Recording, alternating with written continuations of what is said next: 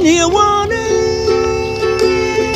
with a matchbox of my clothes.